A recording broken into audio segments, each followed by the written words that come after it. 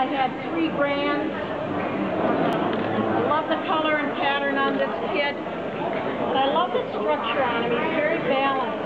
Uh, he's got a wonderful breath in his chest. This is our working cat.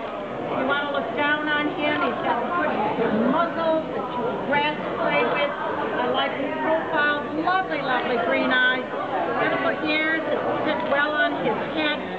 He's really a spectacular boy. Today, you're not leaving. I'm going to put him back, and then we'll, we'll give him his bravo.